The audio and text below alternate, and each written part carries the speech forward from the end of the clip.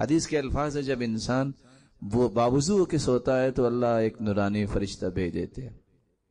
جو ساری رات اس کے بستر میں گزارتا ہے۔ اور کرتا کیا ہے؟ یہ تو سو گیا۔ لا ينقلب ساعة من الليل إلا قال، اللهم اغفر لعبدك فإنه بات طاهرا۔ کوئی گھڑی رات کی ایسی نہیں گزرتی۔ ظاہر ہے انسان کروٹیں بدلتا ہے۔ یہ بھی اللہ کا ایک نظام ہے۔ کروٹیں بدلنے سے انسان کا نظام یعنی نظام کام کرتا اور انسان کا کھانا ہضم ہو جاتا ہے۔ وہ کروٹیں بدل رہا ہے اور یہ ساری رات اس کے لیے دعائیں کرتا ہے۔ کون سی دعائیں؟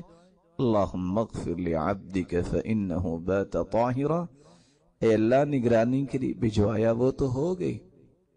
اے اللہ، یہ تیرا بندہ باوضو ہو کے سویا ہے، میری دعا کو قبول کر لے، اس کے گناہوں کو بھی معاف کر دے۔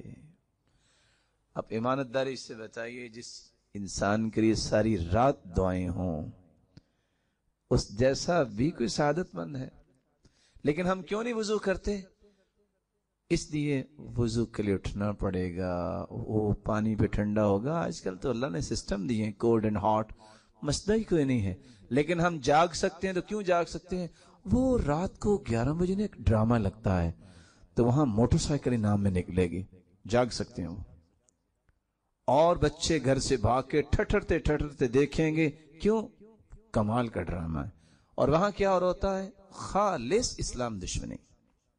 اور حدیث میں آتا ہے، وَيْلُ لِلَّذِي يُحَدِّثُ بِالْحَدِيث فَيَكْذِبْ لِيُضْحِكَ بِهِ الْقَوْمِ، وَيْلُ اللَّهُ وَيْلُ اللَّهُ ویل جہنم کی وبادی ہے کافر کو جب جہنم میں پھینکا جائے گا تو چالیس سال کے بعد جس جگہ پہ پہنچے گا کافر، اس کو ویل کہتے ہیں۔